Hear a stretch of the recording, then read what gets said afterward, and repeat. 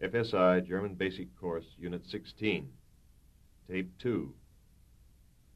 Basic Sentences. Dialogue for Comprehension. 1. Es freut mich, dass ich Sie vor Ihrer Abfahrt noch bei mir begrüßen kann. Vielen Dank für Ihre Einladung. Ich habe meine Abreise, die zuerst auf morgen festgelegt war, noch aufschieben können. Sind Sie mit dem Ergebnis der Verhandlungen, von denen Sie neulich sprachen, zufrieden? Im Allgemeinen ja. Gewisse Schwierigkeiten, mit denen ich gerechnet hatte, sind gar nicht eingetreten. Blieb Ihnen bei den geschäftlichen Aufträgen, die Sie ausführen mussten, auch Zeit für private Interessen? Ja, dieses Mal standen mir sogar mehrere Tage zur Verfügung. Und wie haben Sie die verbracht? Ich fuhr vor zwei Wochen zur Segelregatta, die jedes Jahr in Kiel stattfindet. Bei der Gelegenheit habe ich mir auch zwei der großen Schiffswerften angesehen. Besuchten Sie auch eins der Nordseebäder? Ja, und von Norderney aus machte ich mit dem Dampfer einen Ausflug nach Helgoland. Sie erwähnten bereits bei unserer letzten Begegnung Ihr Interesse an der jüngsten Geschichte der Insel. Deshalb interessierte mich der Wiederaufbau. Außerdem aber auch die Fischerei und nicht zuletzt der Einkauf zollfreier Spirituosen. Und Sie haben sich sicher nicht entgehen lassen, die Austern und Hummern dort zu probieren. Natürlich nicht. So frisch schmecken sie doch am besten. 2. Wohin werden Sie von hier aus fahren? Jetzt habe ich den Teil der Reise vor mir, der wohl weniger reizvoll sein wird. Die Städte, die ich jetzt besuchen muss, liegen im Ruhrgebiet. Die Fahrt dorthin kann sehr schön sein. Könnten Sie mir vielleicht einen Vorschlag machen, welche Strecke ich fahren soll? Warum fahren Sie nicht zuerst durch die Lüneburger Heide, die jetzt gerade blüht, und dann durchs Weserbergland? Ja, das könnte ich mit meinen Plänen vereinbaren. Wie fahre ich dann weiter? Durch den Teutoburger Wald, dessen historische Bedeutung auf die Schlacht im Jahre 9 nach Christus zurückgeht. Ihr Vorschlag gefällt mir. Und wie weit ist es von dort bis zum Ruhrgebiet? Ich zeige es Ihnen gern auf der Autokarte. Seitdem ich einen Wagen habe, fahre ich diese Strecke öfter. Wenn ich es zeitlich schaffe, fahre ich dann auch noch an den Rhein, nach Heidelberg und durch den Schwarzwald zum Bodensee. Früher reichte mir die Zeit nie dazu aus.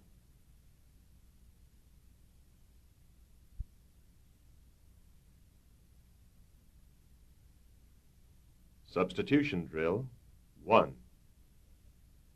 Das sind die Bilder, die Keller so gut gefielen.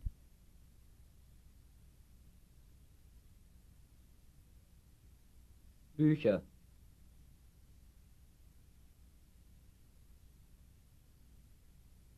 Das sind die Bücher, die Keller so gut gefielen. Wolldecken.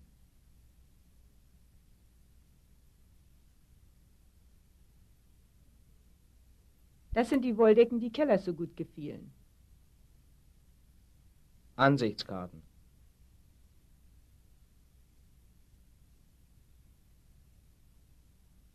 Das sind die Ansichtskarten, die Keller so gut gefielen. Häuser.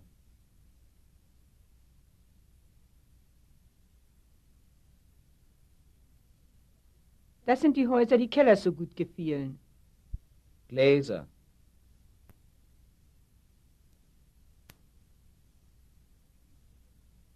Das sind die Gläser, die Keller so gut gefielen.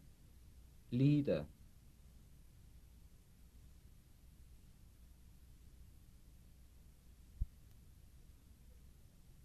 Das sind die Lieder, die Keller so gut gefielen. 2. Das ist das Restaurant, das Herrn Meier gehört.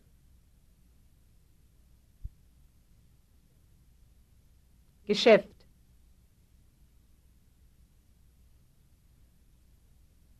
Das ist das Geschäft, das Herrn Meier gehört. Wäscherei.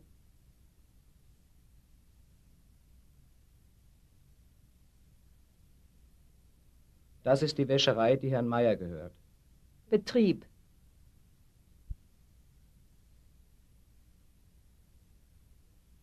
Das ist der Betrieb, der Herrn Meier gehört. Gasthof.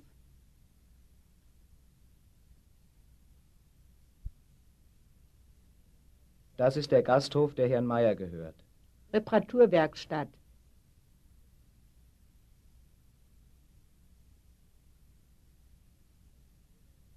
Das ist die Reparaturwerkstatt, die Herrn Meier gehört.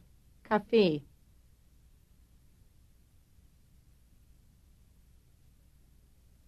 Das ist das Café, das Herrn Meier gehört. Three.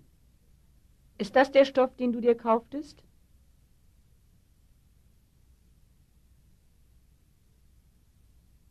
Teppich.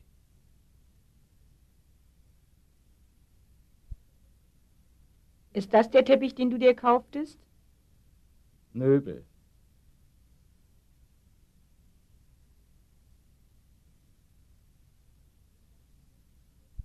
Sind das die Möbel, die du dir kauftest? Sessel.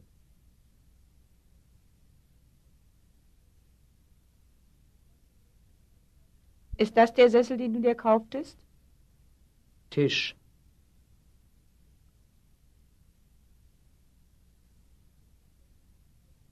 Ist das der Tisch, den du dir kauftest?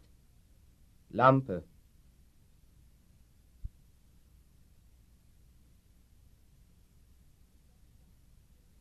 Ist das die Lampe, die du dir kauftest? Bilder.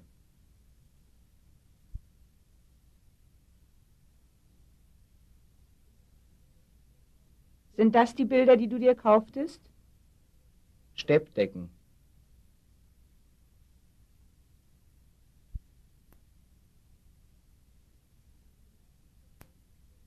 Sind das die Steppdecken, die du dir kauftest? Wein.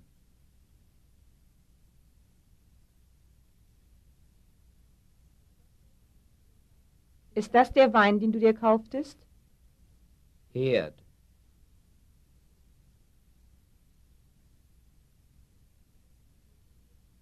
Ist das der Herd, den du dir kauftest? Kühlschrank.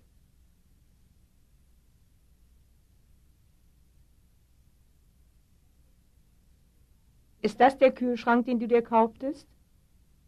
Four. Die Zeitung, um die Sie mich baten, liegt auf Ihrem Schreibtisch.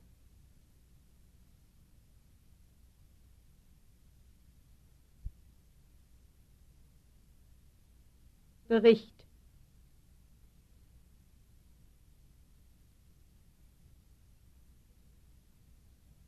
Der Bericht, um den Sie mich baten, liegt auf Ihrem Schreibtisch.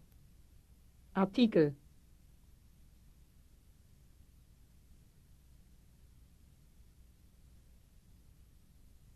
Der Artikel, um den Sie mich baten, liegt auf Ihrem Schreibtisch.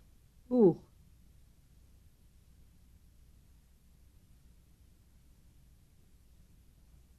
Das Buch, um das Sie mich baten, liegt auf Ihrem Schreibtisch. Unterlagen.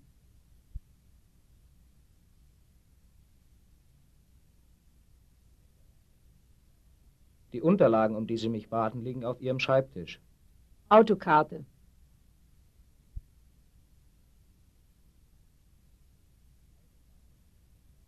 Die Autokarte, um die Sie mich baten, liegt auf Ihrem Schreibtisch. Lektüre.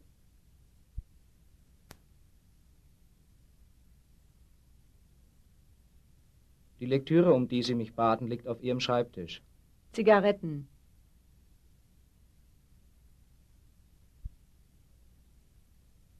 Die Zigaretten, um die Sie mich baten, liegen auf Ihrem Schreibtisch. Briefpapier.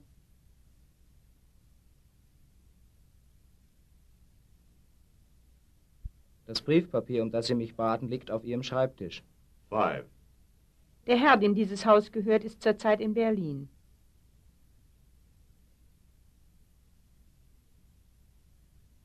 Ehepaar.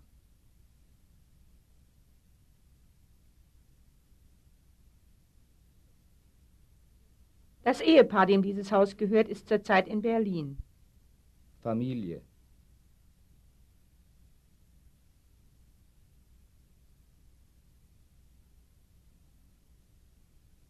Die Familie, der dieses Haus gehört, ist zurzeit in Berlin. Dame.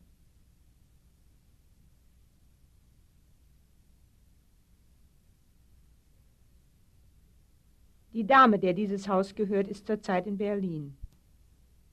Bäckers.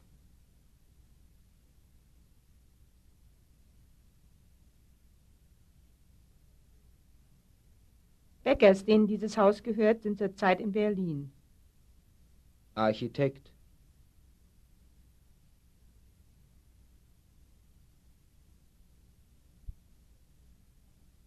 Der Architekt, dem dieses Haus gehört, ist zurzeit in Berlin. Lehrerin.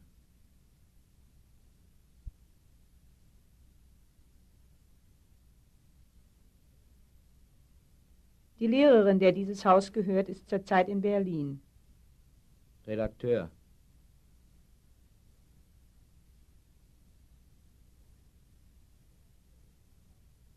Der Redakteur, dem dieses Haus gehört, ist zurzeit in Berlin. Professor.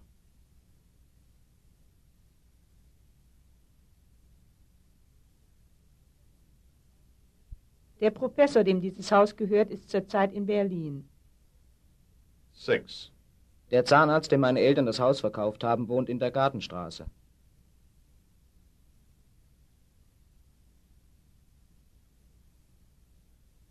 Ehepaar.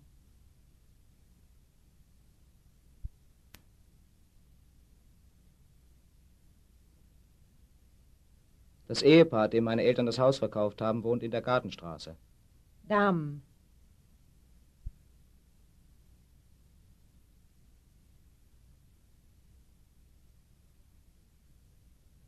Die Damen, denen meine Eltern das Haus verkauft haben, wohnen in der Gartenstraße.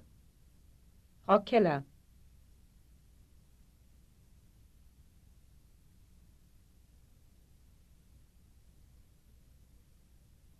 Frau Keller, der meinen Eltern das Haus verkauft haben, wohnt in der Gartenstraße.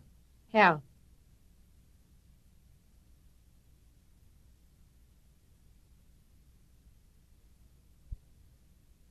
Der Herr, dem meine Eltern das Haus verkauft haben, wohnt in der Gartenstraße. Uhrmacher.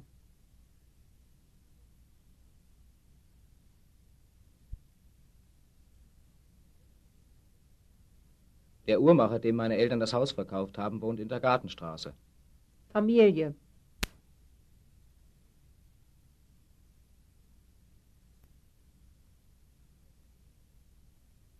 Die Familie, der meine Eltern das Haus verkauft haben, wohnt in der Gartenstraße. 7. Das Geschäft, in dem er arbeitet, ist in der Goethestraße.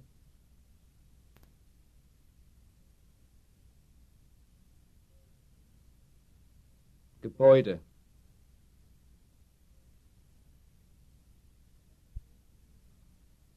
Das Gebäude, in dem er arbeitet, ist in der Goethestraße.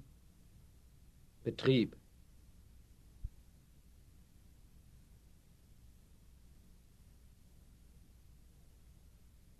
Der Betrieb, in dem er arbeitet, ist in der Goethestraße. Wäscherei.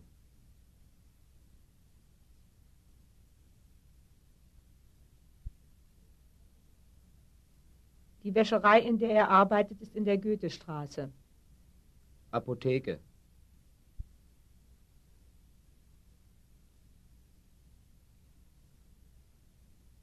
Die Apotheke, in der er arbeitet, ist in der Goethestraße. Gasthof.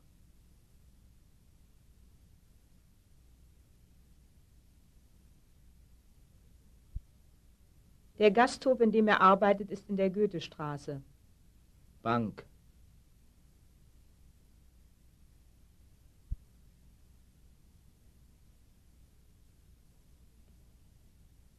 Die Bank, in der er arbeitet, ist in der Goethestraße. 8. Das ist der Herr, dessen Sohn in Amerika studiert.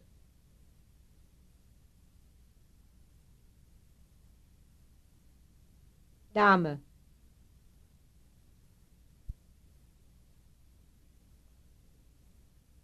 Das ist die Dame, deren Sohn in Amerika studiert. Ehepaar.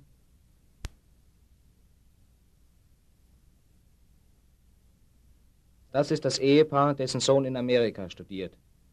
Zahnarzt.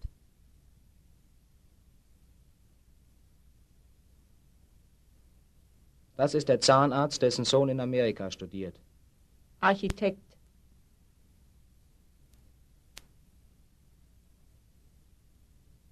Das ist der Architekt, dessen Sohn in Amerika studiert. Diplomat.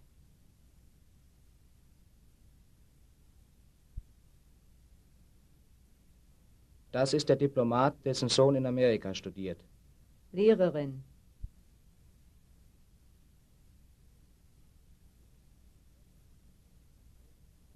Das ist die Lehrerin, deren Sohn in Amerika studiert. 9. Ich habe die Abreise, die auf morgen festgelegt war, aufschieben können.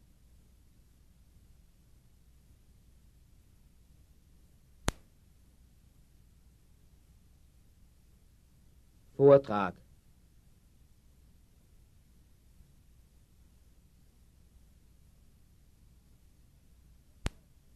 Ich habe den Vortrag, der auf morgen festgelegt war, aufschieben können. Verhandlung.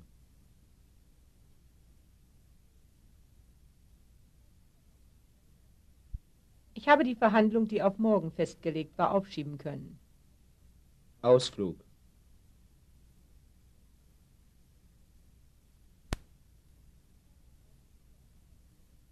Ich habe den Ausflug, der auf morgen festgelegt war, aufschieben können.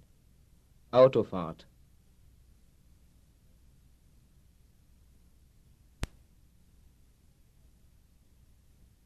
Ich habe die Autofahrt, die auf morgen festgelegt war, aufschieben können. Tagung.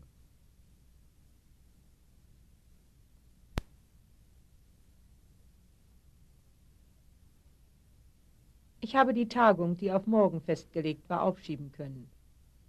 Konzert.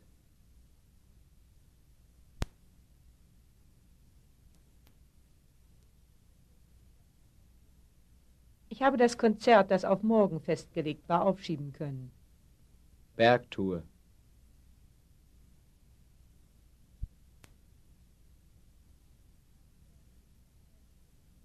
Ich habe die Bergtour, die auf morgen festgelegt war, aufschieben können. Rückreise.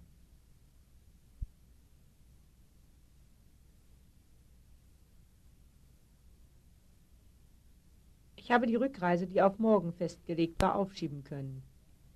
10. Herr Schmidt sprach über den Film, der ihm so gut gefallen hat.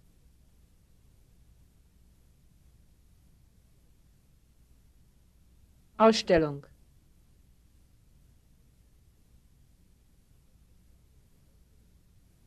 Herr Schmidt sprach über die Ausstellung, die ihm so gut gefallen hat.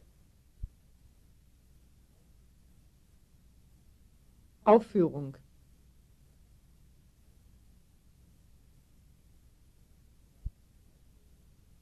Herr Schmidt sprach über die Aufführung, die ihm so gut gefallen hat. Artikel.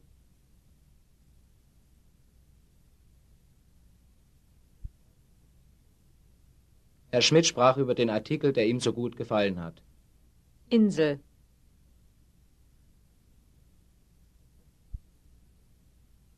Herr Schmidt sprach über die Insel, die ihm so gut gefallen hat. Ausflug.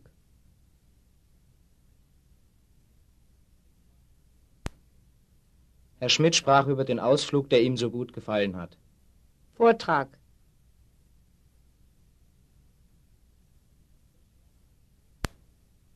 Herr Schmidt sprach über den Vortrag, der ihm so gut gefallen hat. Bergtour.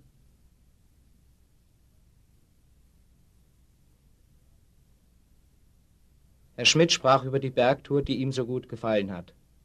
Nordseebad.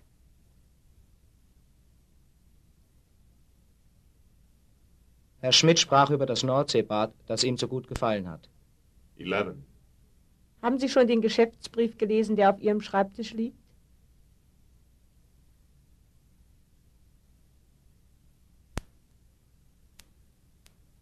Artikel.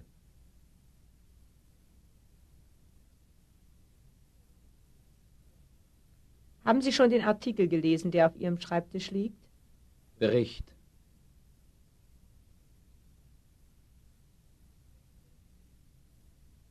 Haben Sie schon den Bericht gelesen, der auf Ihrem Schreibtisch liegt? Zollbestimmungen.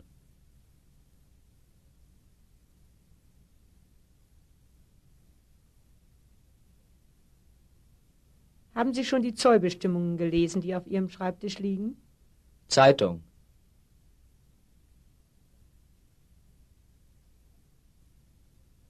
Haben Sie schon die Zeitung gelesen, die auf Ihrem Schreibtisch liegt? Buch.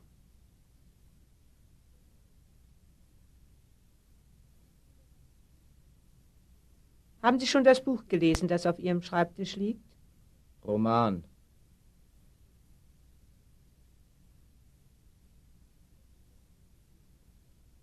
Haben Sie schon den Roman gelesen, der auf Ihrem Schreibtisch liegt? 12. Ich traf den Professor, an den wir neulich geschrieben haben, in der Kunstausstellung.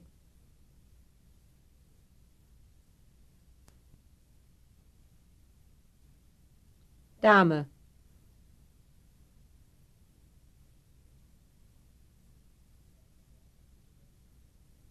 Ich traf die Dame, an die wir neulich geschrieben haben, in der Kunstausstellung. Architekt.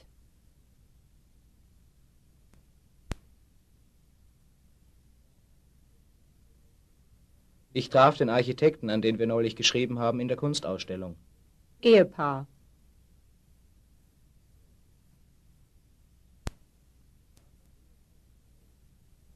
Ich traf das Ehepaar, an das wir neulich geschrieben haben, in der Kunstausstellung. Familie.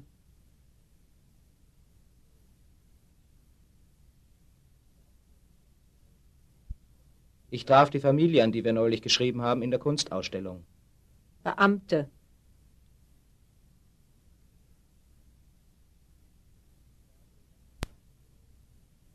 Ich traf den Beamten, an den wir neulich geschrieben haben, in der Kunstausstellung. Konsul.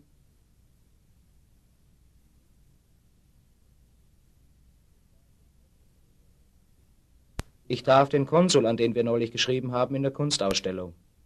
Betriebsleiter.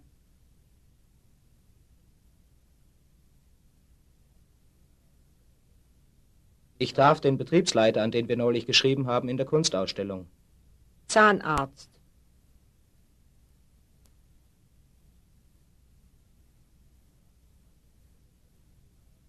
Ich traf den Zahnarzt, an den wir neulich geschrieben haben, in der Kunstausstellung. 13. Vorgestern traf ich den Generalkonsul, dem Sie mich auf dem Empfang vorgestellt haben.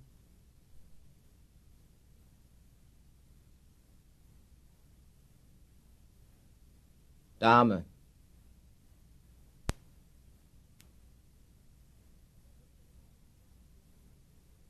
Vorgestern traf ich die Dame, der Sie mich auf dem Empfang vorgestellt haben. Ehepaar.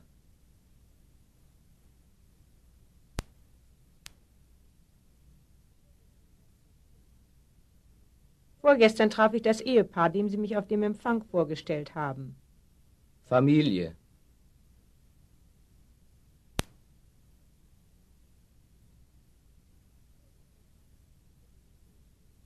Vorgestern traf ich die Familie, der Sie mich auf dem Empfang vorgestellt haben. Professor.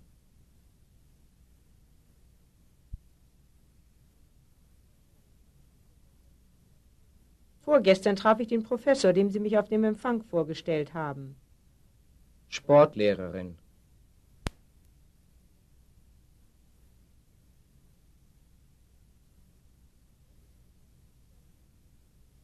Vorgestern traf ich die Sportlehrerin, der Sie mich auf dem Empfang vorgestellt haben. Landrat.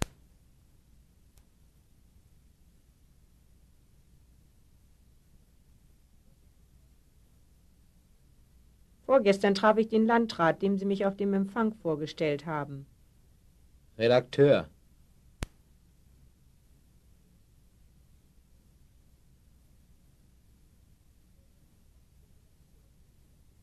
Vorgestern traf ich den Redakteur, dem Sie mich auf dem Empfang vorgestellt haben. 14. Er begrüßt gerade das Ehepaar, dem wir unser Haus verkauft haben.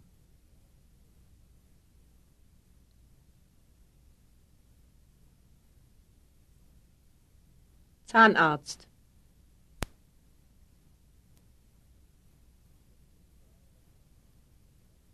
Er begrüßt gerade den Zahnarzt, dem wir unser Haus verkauft haben. Herr.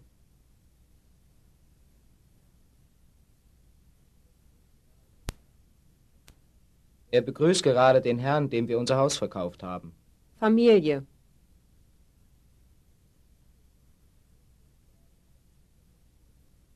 Er begrüßt gerade die Familie, der wir unser Haus verkauft haben. Professor.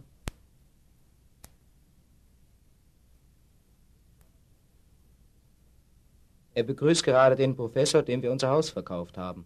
Lehrerin.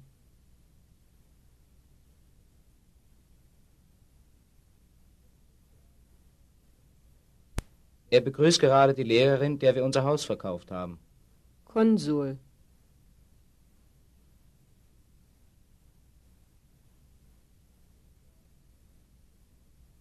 Er begrüßt gerade den Konsul, dem wir unser Haus verkauft haben. Dame.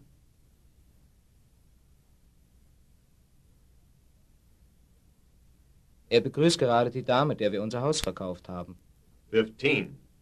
Die Aufträge, mit denen ich gerechnet hatte, habe ich nicht bekommen.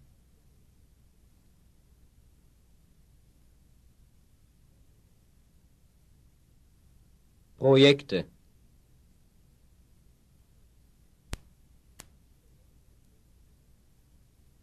Die Projekte, mit denen ich gerechnet hatte, habe ich nicht bekommen. Formulare.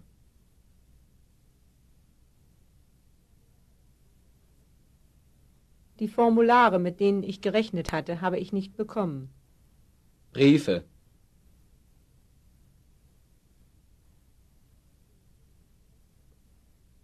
Die Briefe, mit denen ich gerechnet hatte, habe ich nicht bekommen. Berichte.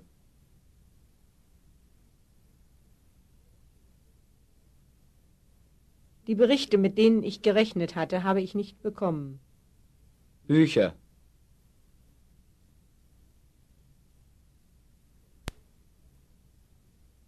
Die Bücher, mit denen ich gerechnet hatte, habe ich nicht bekommen. 16. Gestern sah ich die Kongresshalle, deren Bedeutung die meisten Berlinern bekannt ist.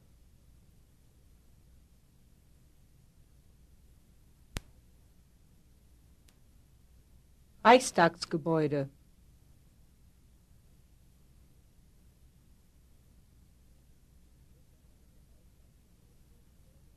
Gestern sah ich das Reichstagsgebäude, dessen Bedeutung den meisten Berlinern bekannt ist. Jagdschloss.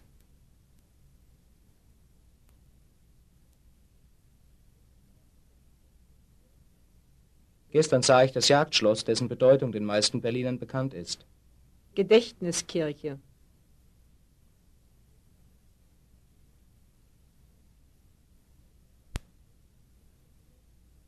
Gestern sah ich die Gedächtniskirche, deren Bedeutung den meisten Berlinern bekannt ist. Siegessäule.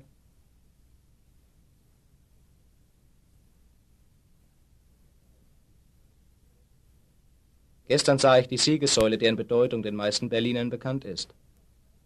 17. Ich fuhr vor zwei Wochen zu der Segelregatta, die dort jedes Jahr stattfindet.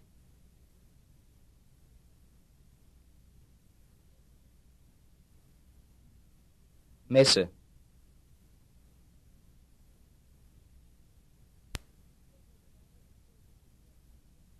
Ich fuhr vor zwei Wochen zu der Messe, die dort jedes Jahr stattfindet. Tagung.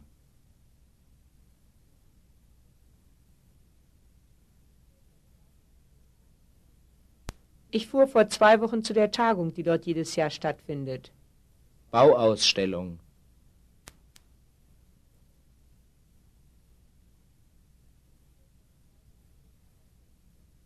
Ich fuhr vor zwei Wochen zu der Bauausstellung, die dort jedes Jahr stattfindet. Konferenz.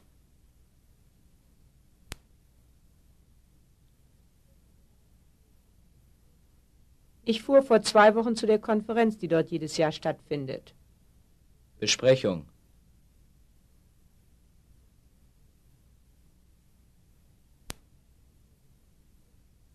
Ich fuhr vor zwei Wochen zu der Besprechung, die dort jedes Jahr stattfindet. Aufführung.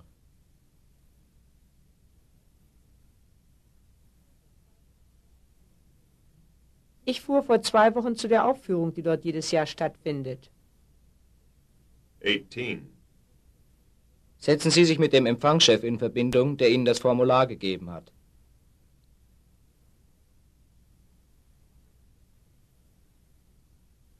Beamte.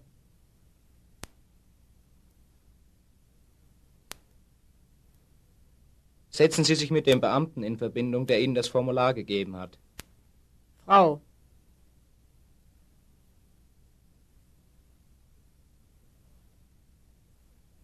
Setzen Sie sich mit der Frau in Verbindung, die Ihnen das Formular gegeben hat. Vizekonsul.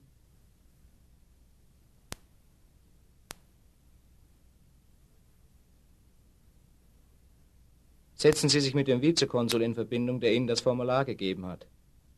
Lehrer oder Lehrerin.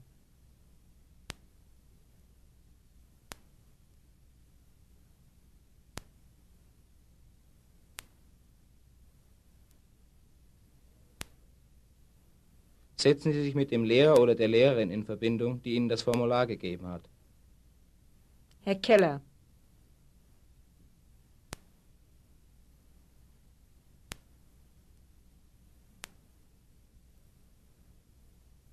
Setzen Sie sich mit Herrn Keller in Verbindung, der Ihnen das Formular gegeben hat.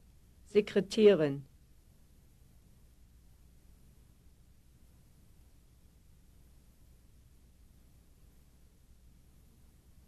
Setzen Sie sich mit der Sekretärin in Verbindung, die Ihnen das Formular gegeben hat.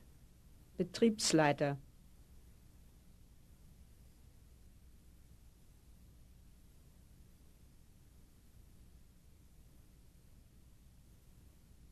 Setzen Sie sich mit dem Betriebsleiter in Verbindung, der Ihnen das Formular gegeben hat.